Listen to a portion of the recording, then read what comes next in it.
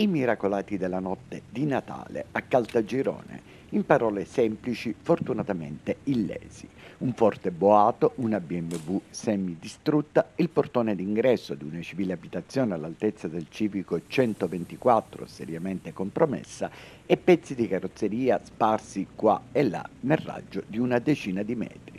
Questa è la risultante di un incidente stradale autonomo che è avvenuto stasera intorno alle 20.30 circa lungo la centralissima via Roma.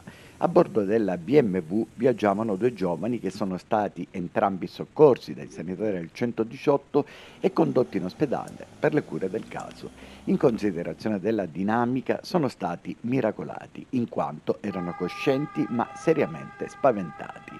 La BMW percorreva la via Roma in senso ascendente quando, per causa ancora al vaglio dei carabinieri, il conducente della stessa, dopo aver perso il controllo della vettura, è salita sul marciapiede cozzando dapprima contro il portone di un'abitazione, finendo rovinosamente la corsa una decina di metri più avanti. Il traffico ha subito rallentamenti, anche se i carabinieri, dopo aver appreso velocemente la dinamica, hanno fatto defluire le macchine che erano in colonna.